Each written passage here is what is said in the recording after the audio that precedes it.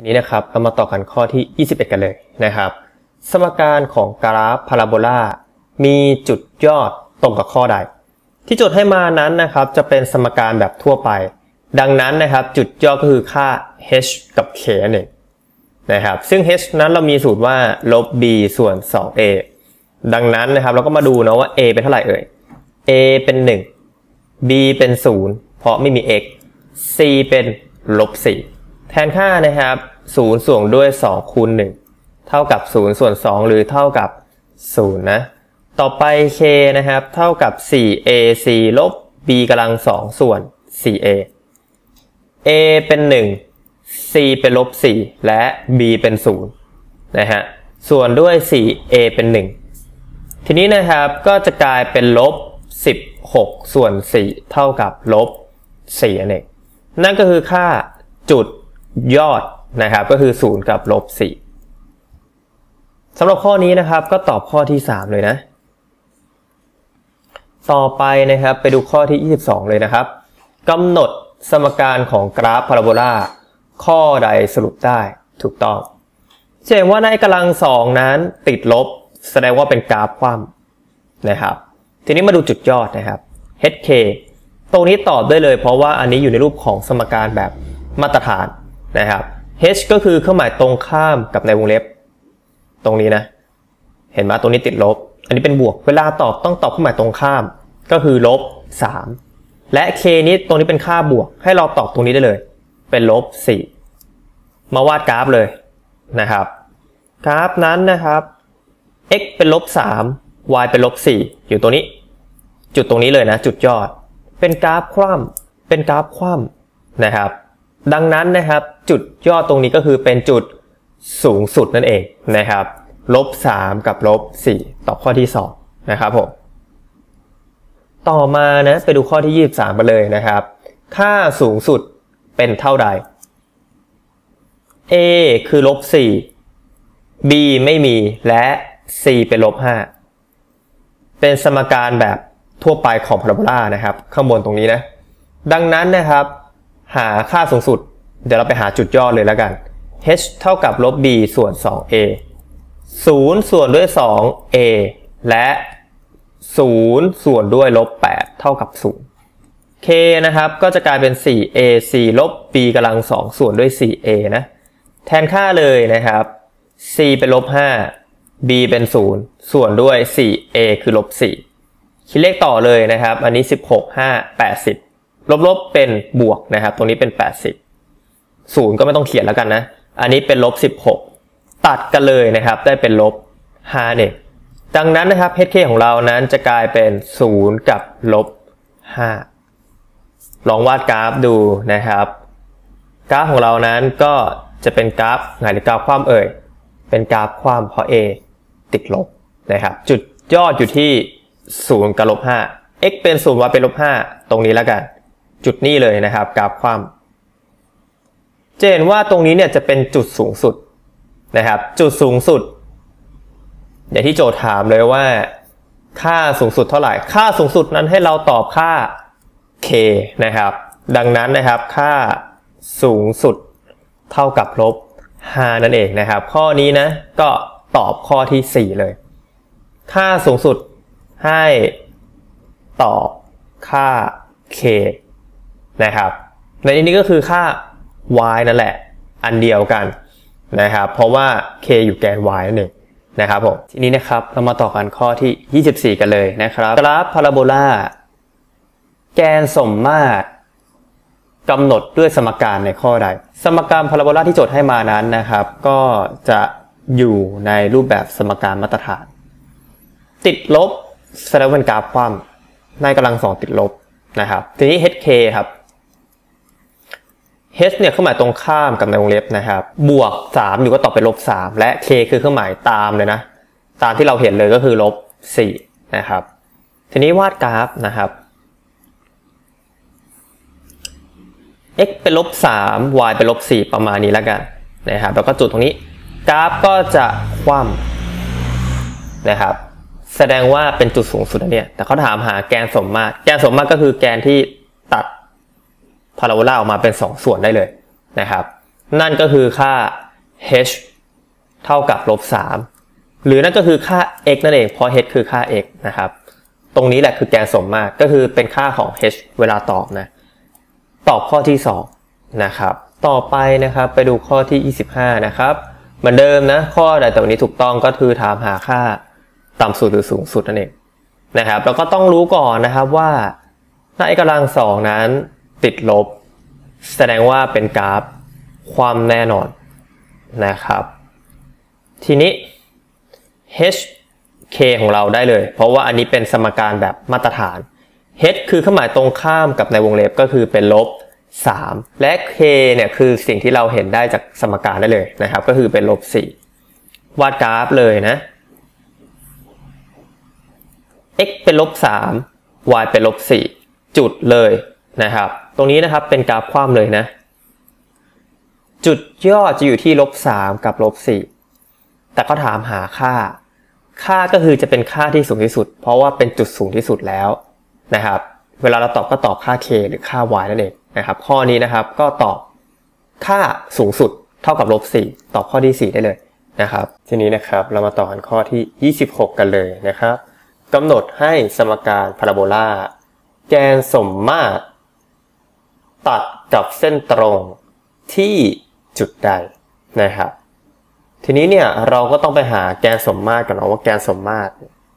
เป็นเท่าไหร่ แกนสมมาตรก็คือค่าของ h นั่นเอง h เป็นเท่าไหร่นะครับ ทีนี้นะครับเราก็มีการหาค่า h เนี่ยก็คือจะตรงกับสมการมาตรฐานตรงนี้เลยนะ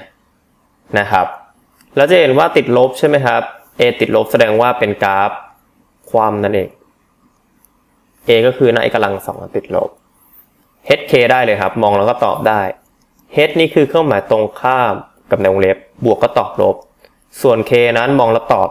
ตรงๆเลยไม่ต้องเปลี่ยนเครื่องหมายนะ เพราะตามสูตรเราคือบวก k ก็ตอบได้เลยนะครับ อย่างนี้เลยนะ ตามที่เราเห็นได้เลย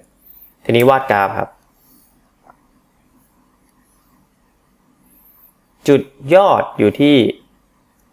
ลบสาม กับลบสี่กราฟคว่ำนะฮะก็จุดตรงนี้ แล้วก็วาดกราฟคว่ำลงไป แกนสมมาตรก็คือค่า h นั่นเองนี่แกนสมมาตรก็คือการตัดพาราโบลาเป็นสองส่วนเท่าๆกันแล้วพับเข้าหากันได้ แล้วเขาบอกว่าแกนสมมาตรนี้ตัดกับ y ที่ลบสาม y ลบสามอยู่นี่ฮะตัดกัน แกนสมมาตรตัดกัน จุดตัดตรงนี้ครับ นั่นก็คือจุด x เป็นลบ3 y เป็นลบ3นั่นเอง นะครับ ข้อนี้นะก็ตอบข้อที่ 4 นั่นเองนะครับ ก็คือการหาจุดตัดกันระหว่างแกนสมมาตรกับเส้นตรงที่โจทย์กำหนดมาให้นะครับ ต่อไปนะครับไปดูข้อที่ 27 นะครับกราฟพาราโบลาผ่านจุดในข้อใด ไม่ได้หาจุดยอดนะครับเพราะถามว่ากราฟเนี่ยผ่านจุดช้อยข้อไหน ก็ต้องแทนทุกช้อยแล้วดูว่าสมการเป็นจริงไหมมาดูช้อยข้อที่ 1 ครับ x เป็น 0 y เป็น 0 ดูดีว่าถ้าเกิดเราแทนค่า x เป็น0เป็น0ลงไปเนี่ยสมการจะเป็นจริงไหม แทน0ลงไปครับ x ก็เป็น0กำลัง2ลบ2ฝั่งนี้เป็น0ฝั่งนี้เป็นลบ2ไม่เท่ากับแสดงว่าอันนี้ไม่ผ่าน ข้างหน้าคือค่า x ข้างหลังคือค่า y นะแทนค่าลงไปในสมการก็เสร็จแล้ว มาดูข้อที่ 2 นะครับ x เป็น 0 y เป็นลบ2ครับนี้นะ แทนค่าเลยนะครับ y เป็นลบ2 x เป็น0ลบ2เท่ากับลบ2อันนี้เป็นจริงนะครับ ตอบข้อที่2ได้เลยนะ ก็คือเอา x กับ y ไปแทนค่าในสมการ ก็เช็คสมการดูว่าเท่ากันเปล่าสองฝั่ง ถ้าเท่ากันก็ตอบได้เลยนะครับ ต่อไปนะครับไปดูข้อที่ 28 นะ เส้นตรงที่กำหนดให้ด้วยสมการในข้อใดเป็นตัดกับกราฟพาราโบลานี้ ก่อนอื่นเลยเราก็ต้องไปหาจุดยอดก่อนแล้ววาดกราฟออกมา แล้วเราวาดเส้นตรงดูว่าเส้นตรงไหนเนี่ย ไม่ตัดกับกราฟพาราโบลานี้นะครับ ก็ต้องไปหาค่า h กับ k ออกมานะครับ ซึ่งสมการในข้อนี้ก็ตรงกับสมการแบบทั่วไปของพาราโบลาคือสมการที่1นั่นเองนั่นก็คือเราต้องรู้ค่า a b c ออกมานะ a คือในกำลัง2เป็น 1 b ไม่มีเป็น0และ c เป็นลบ2นี้ จากนั้นหา hk ตามสูตรเลย h เท่ากับลบ b ส่วน 2a ลบ0ส่วน 2 คูณ 1 เท่ากับ 0 k คือ 4ac ลบ b กำลัง 2 ส่วน 4a a เป็น 1 c เป็นลบ 2 b เป็น 0 ส่วนด้วย 4a เป็น 1 ลบ 8 ส่วน 4 จะเท่ากับลบ 2 นะครับ ทีนี้นะเราก็วาดกราฟพาราโบลาออกมา และ a เป็นบวกแสดงว่าเป็นกราฟหงายนั่นเอง นะครับวาดกราฟพาราโบลาจุดยอดอยู่ที่0ลบ2นะ x เป็น0 y เป็นลบ2ประมาณนี้ จุดนี้เลย x เป็น0เป็นลบ2กราฟหงายครับหงายขึ้นไป ทีนี้มาดูทีละค่านะครับ y เป็น0หมายถึงว่า เส้นตรงเนี่ยตัดแกน y ที่0ตรงนี้ตรงนี้เส้นตรงเส้นแรก y เป็น0นี่เพราะว่าเลข0ตรงนี้ ก็ตัดกราฟพาราโบลาอันนี้ไม่ใช่ ต่อไป y เป็นลบ3 y เป็นลบ3ตรงนี้นะครับ ก็ว่าเส้นตรงตัดผ่าน y ได้เลยนะครับ จะเห็นว่ากราฟเขียวนี้ไม่ตัดกับกราฟพาราโบลาแน่นอนนะครับ ตรงเส้นตรง y เท่ากับลบ3เนี่ยเส้นตรง y เท่ากับลบ3คือเส้นตรงที่ผ่านค่า y เป็นลบ3นั่นเองนะครับ ข้อนี้นะก็ตอบข้อที่ 2 คือไม่ตัดกับกราฟพาราโบลานะครับทีนี้นะครับเรามาต่อกันข้อที่ 29 กันเลยนะครับ ให้ f เป็นฟังก์ชันกำลัง 2 โดยที่กราฟของ y เท่ากับ 2x เป็นกราฟพาราโบลาความ แสดงว่า a ติดลบแน่นอน ผ่านจุดมี 2 จุดมาให้นะครับ ถ้า hk เป็นจุดสูงสุดของกราฟแล้ว h หาค่า h ตัวเดียวเนาะมีค่าเท่าไหร่ ข้อนี้ไม่ได้ให้สมการพาราโบลามา แต่ให้เราไปหาสมการพาราโบลาเอง แล้วก็หาค่า h ออกมาด้วย ก่อนอื่นเลยนะครับ เราก็จะใช้สมการที่ 2 นั่นแหละ เพราะว่ามีแค่ตัวแปร a นะครับที่เราเนี่ย จะไม่ทราบค่าเนาะแล้วก็ h กับ k คือสิ่งที่เราต้องการหาอยู่แล้วนะครับ แต่เป้าหมายคืออย่าลืมนะหา h นั่นเองนะครับถ้าสมการที่1เนี่ยจะติดทั้ง a b c ซึ่งจะต้องมี 3 สมการจะแก้ยากนะครับ ทีนี้นะครับเรามาดูจุดแรกนะครับ ผ่าน จุด x เท่ากับ 2 y เท่ากับ 5 สมการที่ 2 นะ แทนค่า y เป็น 5 ลงไปครับ a ไม่ทราบนะครับ x เป็น 2 ลบ h กำลัง 2 บวก k ก็คือไม่ทราบ a h แล้วก็ k ด้วยเนาะคือต้องการหานะครับ อันนี้ติดไว้ก่อนให้เป็นสมการที่ 1 ต่อไปนะครับผ่านจุด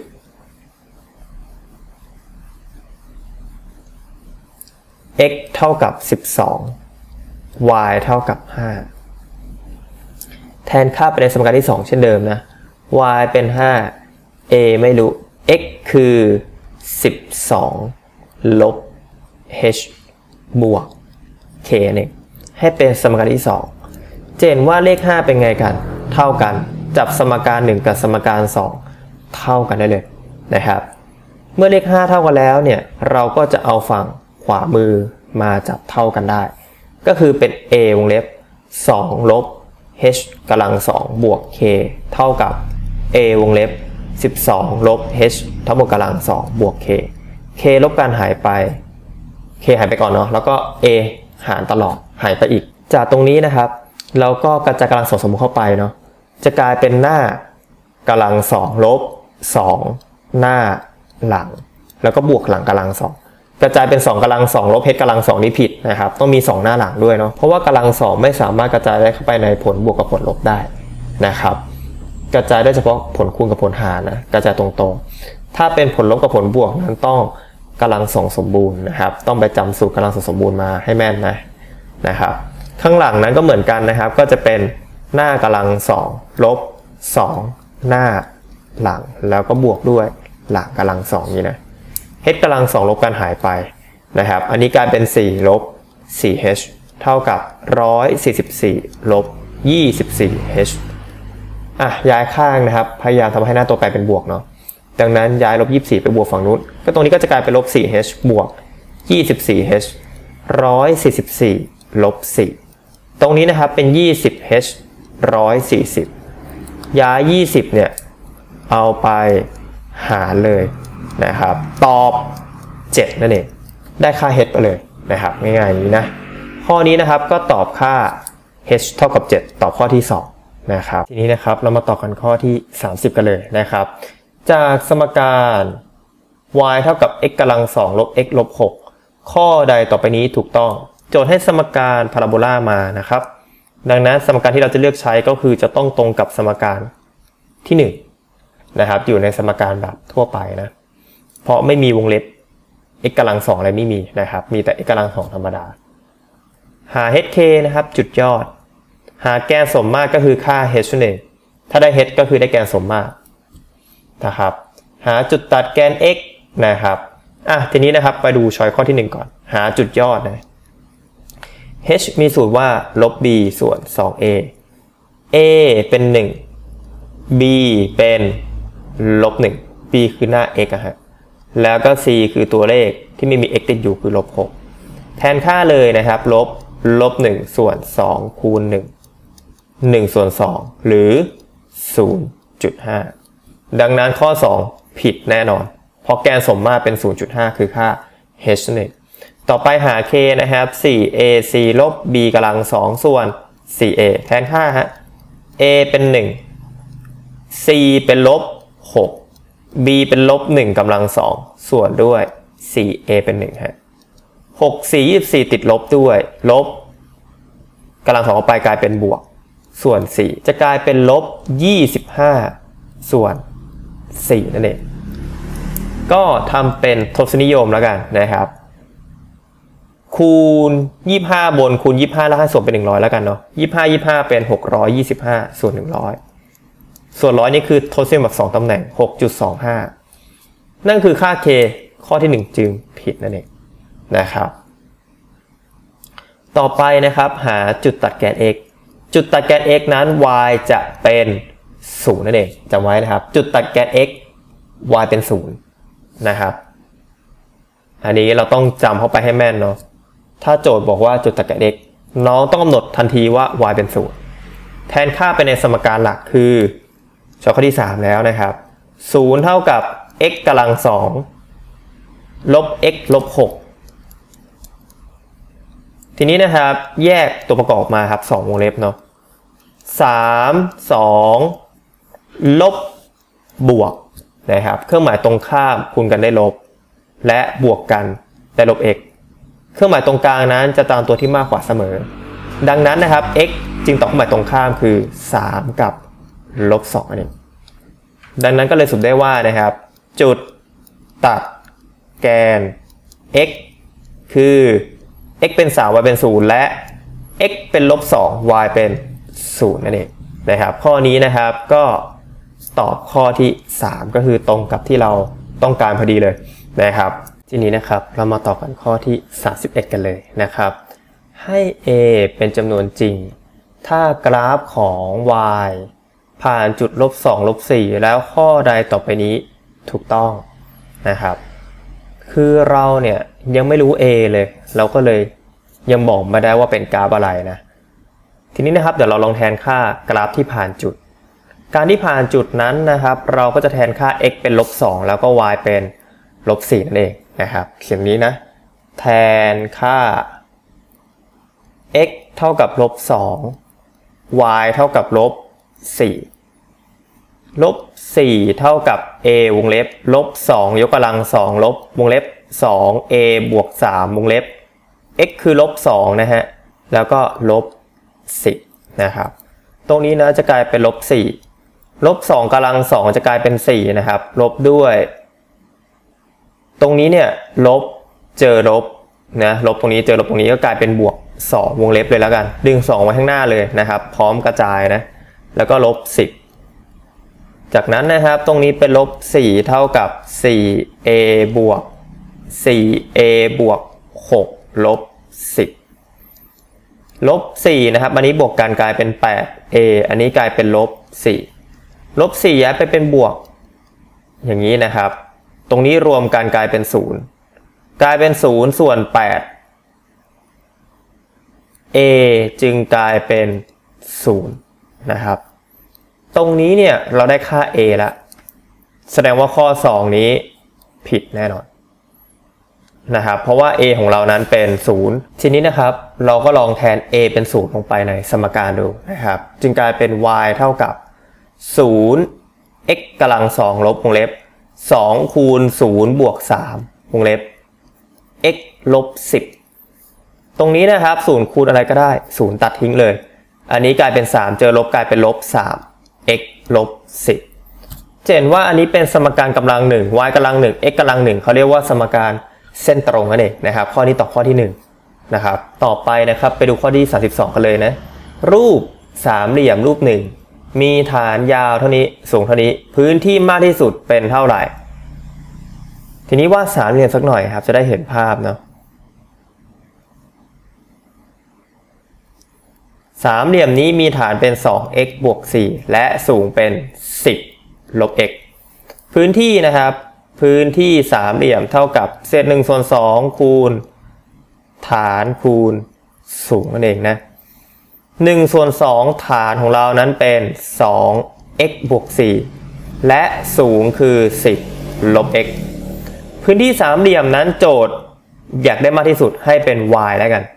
นะครับอะกำหนด พื้นที่สามเหลี่ยมเท่ากับ y ตรงนี้นะครับก็จะกลายเป็น y เท่ากับ ทีนี้นะครับเอา 2 คูณเข้าไปข้างในเลยนะ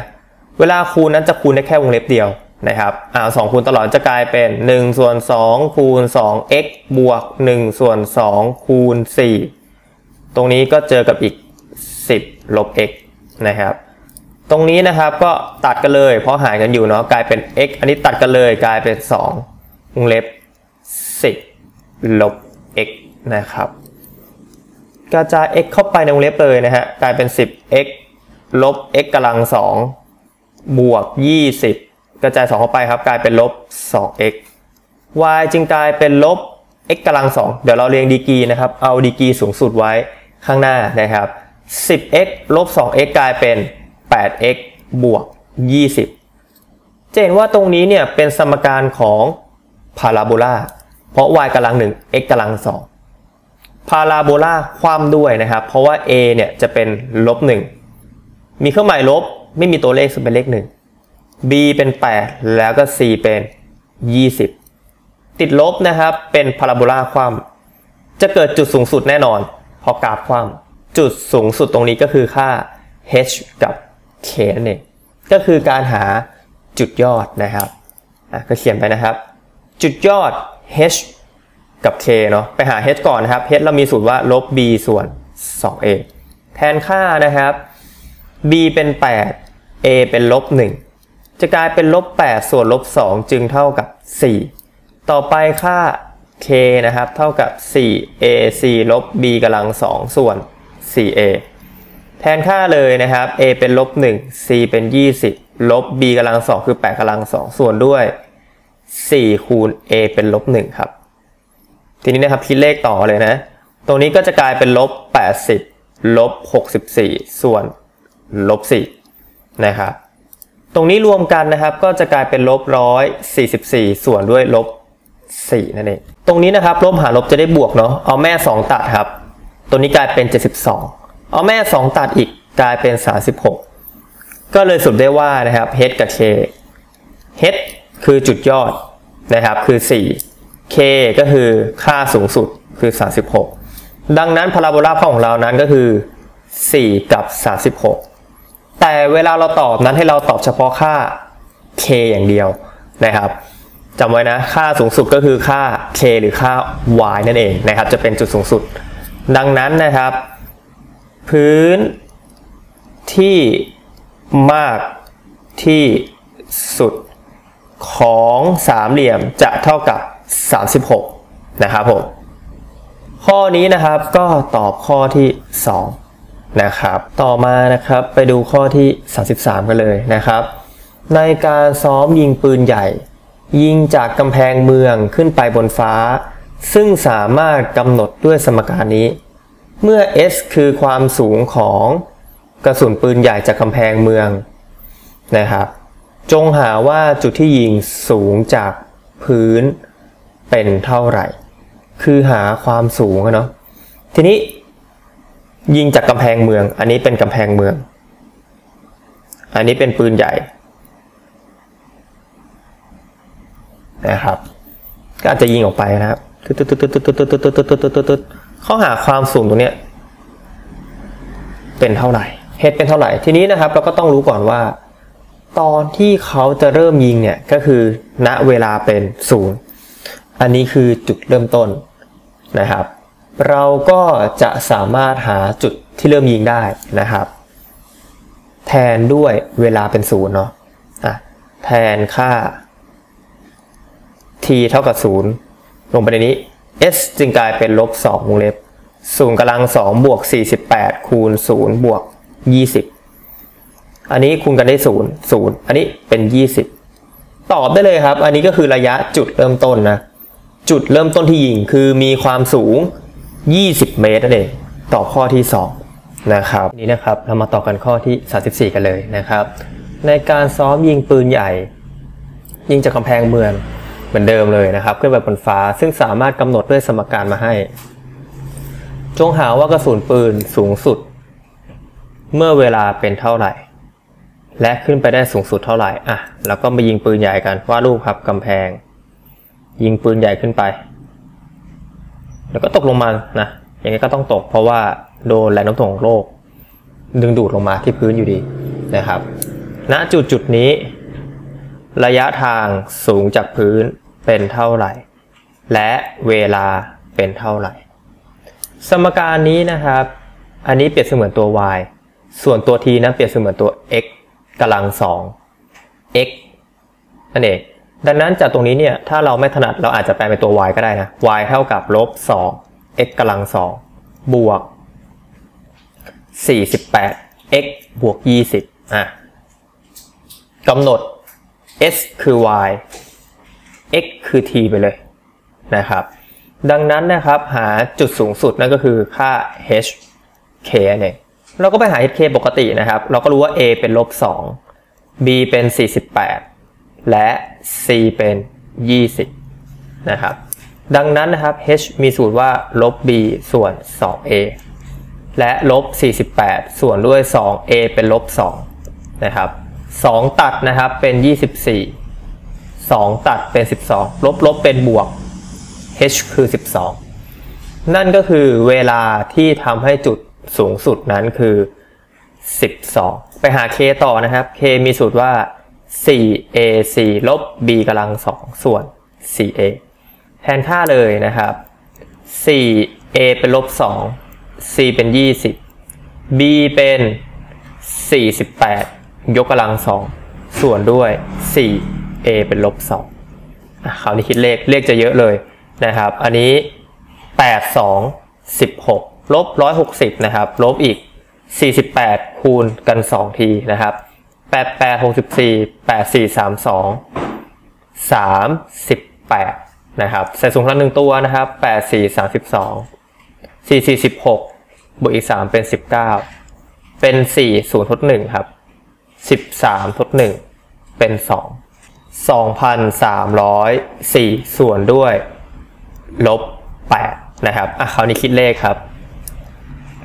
2 3 0 4บวก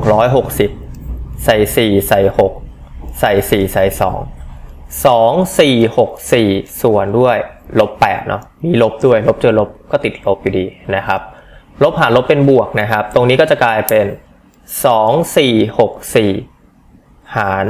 8 8 3 24 8หาร6ไม่ได้ใส่0เหลือเศษ6 8 8 64ห หารกันนะครับ ตรงนี้ก็จะกลายเป็น 308สำหรับค่า k นะครับ ก็จะกลายเป็น 308นั่นเองข้อนี้นะครับตอบข้อที่ 3 ต่อมานะครับ ไปดูข้อที่ 35 นะ ในการซ้อมยิงปืนใหญ่ ยิงจากกำแพงเมืองขึ้นไปบนฟ้า ซึ่งสามารถกำหนดด้วยสมการมาให้ เขาบอกว่าถ้ากระสุนปืนอยู่สูงจากพื้นน้ำ180 เมตร ใช้เวลากี่วินาที คือหาค่า t นั่นเอง ตรงนี้นะครับให้ค่า s มาเลยนะ180 ถ้าเราจะหา t นั้นนะครับ เราก็แค่แทน s ลงไปในสมการที่โจทย์ให้มาแค่นั้นเองนะครับ ดังนั้นนะครับตรงไหนมี s แทน180 ลงไป เท่ากับลบ 2t กำลัง 2 บวก 48t บวก 20 หลักการในการแก้สมการนั้นนะครับ เราจะต้องย้ายค่าให้ดีกีสูงสุดเป็นบวกเสมอ แล้วก็จับฝั่งหนึ่งเท่ากับศูนย์ด้วย อะย้ายข้ามไปเลยครับ 2 ที่กำลัง2ลบ48 ที บวก 180 ลบ 20 เท่ากับ 0 2t กำลัง2ลบ 48t บวก 160 เท่ากับ 0 ให้เรานำ2หารตลอดนะครับ ก็จะกลายเป็น t กำลัง2ลบ 24t บวกด้วย 80 เท่ากับ 0 นะ เราจะเห็นว่าทุกตัวเนี่ยเป็นเลขคู่หมดเลยนะครับ อาจจะเขียนว่านำ2หารตะ ลอดนั่นเองนะครับ ก็จะกลายเป็น t กำลัง2ลบ 24t บวกด้วย 80 เท่ากับ 0 นะครับ จากนั้นนะครับแยกตัวประกอบออกมาเป็น 2 วงเล็บนะครับ กลายเป็น t กับ t นะครับแล้วก็ต้องไปหาเลขเนาะที่คูณกันได้ 80 แล้วก็รวมกันกลายเป็นลบ24 ไปอ่านดูช้อยครับ ก็จะเป็น 20 กับ 4 เนาะ ที่มีในช้อยก็เป็นไปได้นะครับ อันนี้อาจจะเป็น 20 อันนี้เป็น 4 ลบเจอลบนะครับ ก็จะกลายเป็นบวกนั่นเอง ข้อนี้นะครับก็ตอบ 2 ค่านะครับ t เป็น 20 กับ 4 วินาทีนั่นเองนะครับ ข้อนี้นะก็ตรงกับช้อยข้อที่ 3 นะครับ ทีนี้นะครับเราก็มาดูเนาะที่มี 2คำตอบเนี่ยลักษณะรูปจะเป็นอย่างไรนะครับอะสมมุติว่าอันนี้คือกำแพงเมือง อันนี้คือปืนใหญ่ ปืนใหญ่ก็ยิงลงไปฟื้นก็ตกลงมานี่ครับ นี่ตำแหน่งนี้ อาจจะเป็น180สูงจากพื้น180เหมือนกัน แล้วก็ตำแหน่งนี้ก็สูงจากพื้น180เหมือนกันเห็นไหมครับ ตรงนี้ก็จะมีเวลาอยู่2ค่า ก็จะเป็นเวลาของขาขึ้น แล้วก็เวลาของขาลงนั่นเองนะครับ ทีนี้นะครับเรามาต่อกันข้อที่ 36 กันเลยนะครับ บอยต้องการล้อมรั้วที่ดินที่อยู่ติดคลอง เป็นรูปสี่เหลี่ยมมุมฉาก โดยล้อมเพียง 3 ด้านนะครับ และด้านที่อยู่ติดคลองไม่มีรั้วกั้น ถ้าบอยมีวัสดุสำหรับทำรั้วยาว 200 เมตร และอยากให้พื้นที่ล้อมรั้วมากที่สุด จงหาว่า บอยได้ที่ดินรั้วเป็นเท่าไหร่นะครับสมมุติว่าตรงนี้เป็นคลองนะครับคลองนะ อ่า อันนี้ก็จะเป็นที่ล้อมรั้วตรงนี้ ทีนี้นะครับเราก็กำหนดด้านขึ้นมานะครับอะกำหนด ด้านยาวเท่ากับ x อันนี้ก็คือเป็น x กับ x ทีนี้นะครับโจทย์ให้ว่านะครับบอยเนี่ยมีวัสดุสำหรับทำรั้วเนาะเขียนเลย วัสดุสำหรับทำรั้วเท่ากับ 200 เมตร ประกอบไปด้วยนะครับ ด้านยาว 2 ด้านเนาะ2คูณด้าน ยาวบวกด้วยด้านกว้างยังไม่รู้เลย ด้านกว้าง เท่ากับ 200 ด้านยาวให้เป็น x นะครับ บวกด้านกว้าง เท่ากับ 200 ดังนั้นย้ายข้างนะครับ หาด้านกว้างเนาะด้านกว้าง จึงเท่ากับ 200 ลบ 2x นั่นเองด้านกว้างนี้เรามีแค่ด้านเดียวนะครับ ก็เลยไม่ต้องเอามาคูณ 2 อะไรไม่ต้อง ทีนี้นะครับโจทย์บอกว่าอยากได้พื้นที่ล้อมรั้วมากที่สุด พื้นที่ล้อมรั้วนั้นเป็นรูปสี่เหลี่ยมเท่ากับกว้างคูณ ยาวนะครับ พื้นที่ในที่นี้กำหนดให้เป็นตัวแปร y แล้วกันนะครับอะกำหนดเพิ่มกำหนด พื้นที่สี่เหลี่ยมเท่ากับ y ตัวนี้เป็น y นะครับกว้างของเราเมื่อกี้หามาแล้วคือ 200ลบ 2x ยาวก็คือเป็น x ตัวเดียวนะครับ ทีนี้นะเราก็คูณกระจาย x เข้าไปในวงเล็บนะฮะกลายเป็น 200 x ลบด้วย 2x ยกกำลัง2 จัดรูปสักหน่อยนะครับ ให้ตัวแปร x กำลัง2อยู่ข้างหน้านะ แล้วตัวแปร x ธรรมดาอยู่ข้างหลังนั่นเองนะครับแต่โจทย์ต้องการหาพื้นที่มากที่สุดก็คือหาตัวแปร y นั่นเองนะครับ อันนี้เนี่ยกราฟเป็นพาราโบลาคว่ำเพราะว่า a ติดลบนะครับ b เป็น 200 แต่ c ไม่มีค่านะ c เป็น 0 พาราโบลาคว่ำนะครับ จุดยอดก็คือค่า h k นั่นเองเพราะโจทย์ต้องการหาพื้นที่ที่ ใหญ่ที่สุดนั่นเองนะครับ ต้องการหา k จุดสูงสุดนะ หา k เลยแล้วกันนะครับ k เท่ากับ 4ac ลบ b กำลัง2ส่วน 4a นั่นเองนะครับ ทีนี้แทนค่านะครับ a เป็นลบ 2 c เป็น 0 b คือ 200 ยกกำลัง2ส่วนด้วย 4 a คือลบ 2 นะครับ ทีนี้นะครับคิดเลขเลยอันนี้ได้ 0 อันนี้จะเป็น 4 0 0 แล้วก็ 0 อีก 2 ตัวนะครับ ส่วนด้วย ลบ 8 นั่นเอง ลบหารลบกลายเป็นบวก 8 ตัดครับคำตอบคือ 5,000เองนะครับ อันนี้คือคำตอบของพื้นที่ที่มากที่สุดคือค่า k หรือค่า y นั่นเองนะครับ ข้อนี้นะ ก็ตอบได้เลยครับ ตอบข้อที่ 4 นะครับ ต่อไปนะครับ ไปดูข้อที่ 37 นะ ต้องการร้อมรั้ว่า โดยที่ติดกับฝั่งถนนไม่มีรั้วให้ล้อมเหมือนเดิมนะครับอะอันนี้ถนนละกันวาดรูปเดิมตลอดเลยนะครับ ก็มี 3 ด้านเหมือนเดิม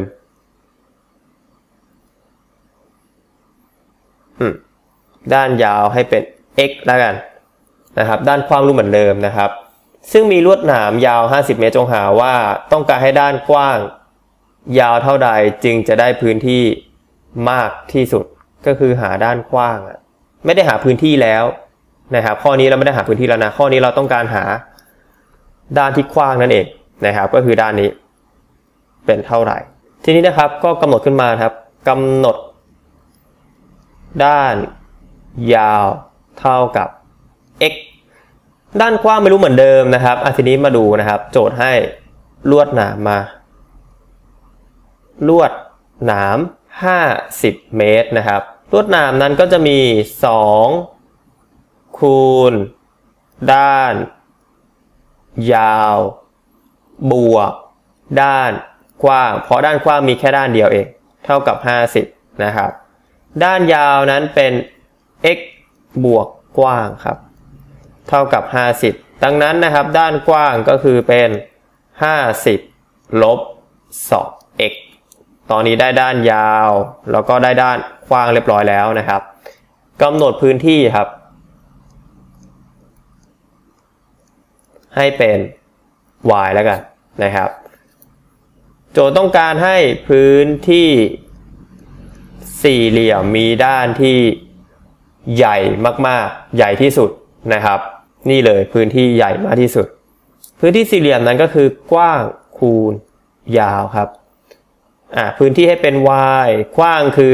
50ลบ 2x และยาวนะครับ ยาวก็คือเป็น x นั่นเองนะ ทีนี้นะครับเราก็อาจจะกระจาย x เข้าไปในวงเล็บนะครับ ก็จะกลายเป็น 50x ลบด้วย 2x ยกกำลัง2นี้ครับ ทีนี้นะครับเดี๋ยวเราจัดรูปนะ ตัวนี้ก็ดึงดีกีกำลังสองไว้ข้างหน้าสุด แล้วก็บวกด้วย 50 x นั่นเอง นะครับเราก็รู้ว่า a เนี่ยเป็นลบ2เพราะ a อยู่ข้างในกำลัง2แล้วก็ b เป็น 50 แต่ c ไม่มีให้เป็น0นั่นเองอันนี้เนี่ยจะเป็นพาราโบลาความเพราะ a ติดลบ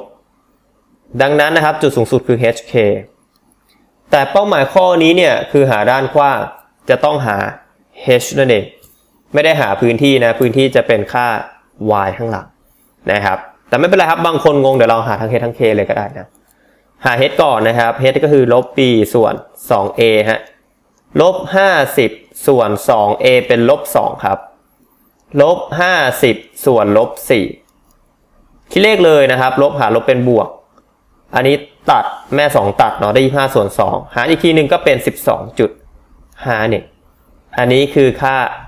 x ที่สูงที่สุด ต่อไป k นะครับ จะเป็นพื้นที่ที่มากที่สุดนะ 4a c ลบ b กำลัง 2 ส่วน 4a a เป็นลบ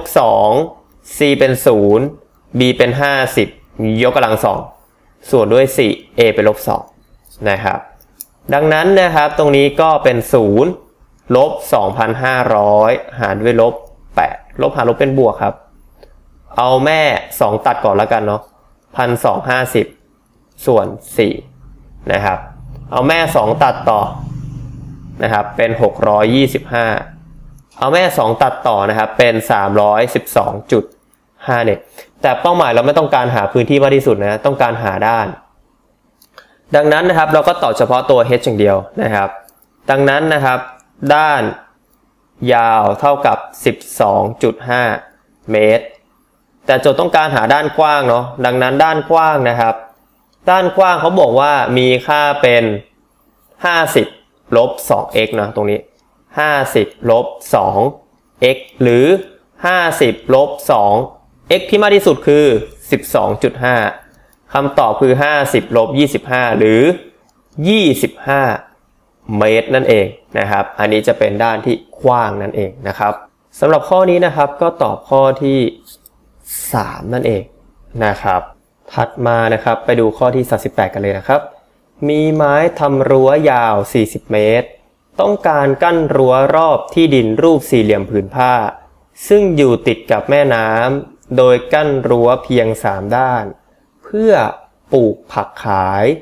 จะต้องกั้นรั้วอย่างไร จึงจะได้พื้นที่มากที่สุดนะครับ อะ ทีนี้นะครับ อันนี้ก็อาจจะเป็นแม่น้ำ อันนี้ก็เป็นรูปรั้วกั้นสามด้าน นี่ฮะ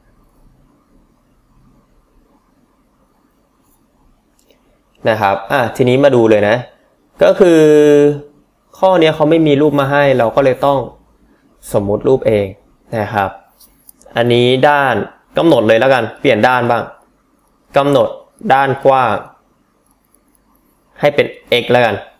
ด้านนี้ให้เป็นด้านกว้างบ้าง คือเราไม่รู้ไงว่าอันไหนเป็นด้านกว้าง อันไหนเป็นด้านยาวเขาไม่ได้กำหนดอะไรมาให้เลย เวลาตอบอาจจะตอบสลับกว้างกับยาวอะไรกันได้หมดเลยนะครับ ต่อมานะครับด้านยาวไม่รู้เหมือนเดิมเนาะตรงนี้ให้เป็นด้านยาวบ้างแล้วกัน สลับคำพูดหน่อยนะนะครับอะทีนี้นะครับมาดูนะจะหาด้านยาวทำยังไงเขาบอกว่ามีไม้รั้วยาว 40 เมตร ก็เขียนเลยครับทำรั้วเท่ากับ 40 เมตร ประกอบไปด้วย 2 คูณกว้างบวก ยาว เพราะยาวมีด้านเดียวนะเท่ากับ 40 2 คือมาจากว่าเอาด้านกว้างบวกกัน 2 ทีนะครับ ด้านกว้างเป็น x ยาวไม่รู้ครับ เท่ากับ 40 ดังนั้นด้านยาวก็คือเอา 40 ลบ 2x เห็นว่าตอนนี้เนี่ยเราได้ด้านยาวมาล้วเหมือนเดิมนะครับกำหนด พื้นที่ เท่ากับ y นะครับ ก็แทนสูตรเลยนะครับ พื้นที่ สี่เหลี่ยมเท่ากับกว้างคูณยาวนะครับ ทีนี้นะครับพื้นที่สี่เหลี่ยมนั้นนะครับ ก็คือตัวแปร y นั่นเองกว้างคือ x ยาวคือ 40 ลบ 2x นะครับอะทีนี้นะครับ y เท่ากับกระจายเข้าไปในวงเล็บนะครับ กลายเป็น 40x ลบด้วย 2x ยกกำลัง2นั่นเองนะ ทีนี้นะครับ เดี๋ยวเราเรียงดีกรีสักหน่อยนะครับ ก็จะกลายเป็นลบ 2x กำลัง 2 บวก 40x นั่นเอง เช่นว่า a ลบ 2 b 40 และ c เป็น 0 ไม่มีค่า c a ติดลบแสดงว่าเป็นกราฟความนั่นเองนะครับ ทีนี้นะครับ เป้าหมายคือเราต้องการหาด้านกว้างกับด้านยาวเนาะ ก็คือการหาค่า x นั่นเองนะครับ h กับ k ซึ่ง k นั้นเรายังไม่ต้องการหาเนาะเพราะนี้เป็นพื้นที่นะครับพื้นที่คือค่า k พื้นที่มากที่สุด แต่เราต้องการหาด้านแต่ละด้านก็คือค่า h นั่นเอง ดังนั้นนะครับเดี๋ยวเราจะหาค่า h อย่างเดียวแล้วกันนะ h เท่ากับลบ b ส่วน 2a b คือ 40 a คือลบ 2 ลบ 40 หารลบ 4 เท่ากับ 10 นั่นก็คือด้าน x นั่นเองนะครับ x ก็คือด้าน กว้างนั่นเองก็สรุปนะครับว่า ดังนั้น ด้านกว้างเท่ากับ 10 เมตรนะครับ ตรงนี้นะครับก็คือค่า x นั่นเองก็คือจะเป็นด้านกว้าง ด้านกว้างที่ทำให้พื้นที่ที่มากที่สุดเองนะครับ ต่อไปด้านยาวนะครับ ด้านยาวเนี่ยเขาบอกว่ามีค่าเท่ากับ 40ลบ 2x ครับ ทีนี้ x ก็คือค่า h ก็คือเป็นด้าน กว้างเองคือ 10 ตอบ 20 เมตรนั่นเองนะครับ ก็ได้ด้านกว้าง 10 ด้านยาวเป็น 20 ก็ตอบข้อที่ 2 นะครับ แต่บางคนเนาะกำหนดให้ด้านยาวเป็น x ก็คำตอบอาจจะสลับกัน ไม่เป็นไรนะครับ ก็ขอให้มีตัวเลข 2 ตัวอยู่ในช้อยนั่นเองนะ ต่อมานะครับ เรามาดูข้อที่ 39 กันเลยนะครับ ต้องการล้อมรั้วรอบ ที่ดินรูปสี่เหลี่ยมผืนผ้า ให้ได้พื้นที่มากที่สุด เพื่อทำสนามเด็กเล่น ติดกับถนน โดยใช้ไม้ทำรั้วยาว 100 เมตร และล้อมรั้วเพียง 3 ด้านเท่านั้น อย่าทราบว่าด้านที่ติดกับถนน ที่ไม่ได้ล้อมรั้วจะมีความยาวมากที่สุดเท่าไหร่ ก็คือเขาหาด้านที่ไม่ได้ล้อมรั้วเนาะ แต่ก็ทำเหมือนเดิมนะครับเขาวาดรูปถนนขึ้นมาครับ แล้วก็ล้อมรั้วแค่สามด้านตรงนี้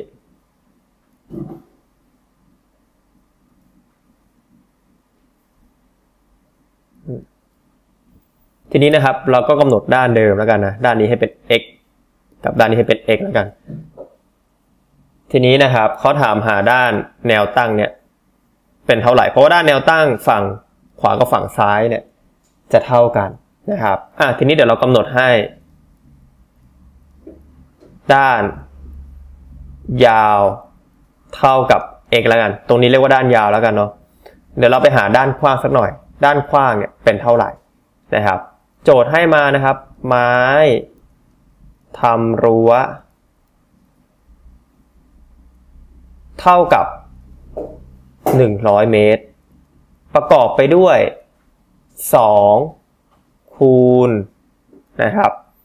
ด้านยาวเพราะมียาว 2 ด้านเนาะตรงข้ามกันนะครับ บวกด้วยด้านกว้าง ตรงนี้คือต้องการหาตรงนี้ เท่ากับ 100 ด้านยาวให้เป็น x ด้านกว้าง อยากจะรู้เหมือนกันว่าเป็นกี่ x นะครับ ดังนั้นย้ายข้างนะครับ 2x เนี่ย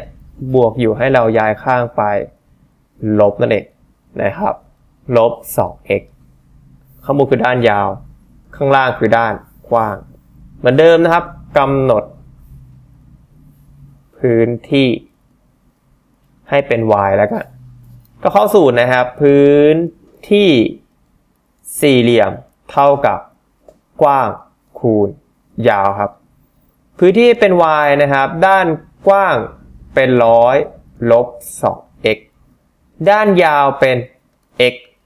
กระจาย x เข้าไปในวงเล็บเลยนะครับ กลายเป็น 100 x ลบด้วย 2 x ยกกำลังสองทีนี้เนี่ยครับเรียงดีกรีให้กำลังสองอยู่ข้างหน้า และ 100 อยู่ข้างหลังนั่นเองนะครับ ทีนี้นะครับเราก็รู้ตัวแปรว่า a คือลบ2 b คือ 100 และ c ไม่มีเป็น 0เห็นว่าตรงนี้เนี่ยเป็นพาราโบลาความเพราะ a ติดลบ ก็จะได้จุดสูงสุดออกมานั่นเอง พาราโบลาความจะได้จุดสูงสุดตรงนี้เป็นจุดยอดนะครับ แต่เนื่องจากข้อนี้ต้องการหาเพียงแค่ด้านครับ ด้านก็คือค่า h นั่นเองส่วน k คือพื้นที่จำไว้นะครับ หา h หา h อย่างเดียวไปเลยนะครับ h เท่ากับลบ b ส่วน 2a b เป็น 100 นะครับ a เป็นลบ 2 ลบหารลบเป็นบวกตัดเลยเป็น 25 นะครับ ดังนั้นนะครับ เราก็เลยได้ด้านออกมาละ ด้านยาวเท่ากับ 25 เพราะเรากำหนดให้ด้านยาวเป็น x นั่นเองนะครับ มาดูด้านกว้างนะครับ ด้านกว้างจะเท่ากับ 100ลบ 2x นะครับ x เรารู้แล้วเนาะเป็น 25 ลบกันจะเหลือเป็น 50 เมตรนั่นเองนะครับ ก็สรุปนะครับ ข้อนี้นะครับก็ตอบด้านที่ไม่ล้อมรั้วนั้น ก็ตอบข้อที่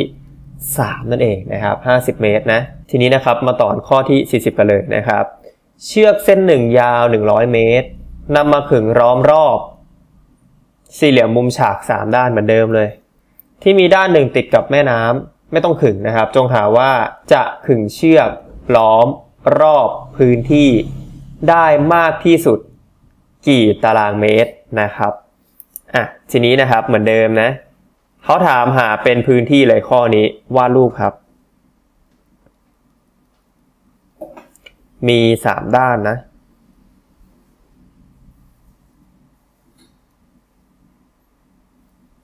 ตรงนี้เป็น x เหมือนเดิมนะครับ ด้านตรงข้ามเป็น x กำหนดเลยนะครับกำหนดด้านยาว ให้เป็น x เชือกนะครับ เชือก ยาวเท่ากับ 100 เมตร ประกอบไปด้วยนะครับ2คูณด้าน ยาวบวกด้านกว้างนั่นเองนะครับ 100 เมตรนะทีนี้นะครับ ด้านยาวให้เป็น x ด้านกว้าง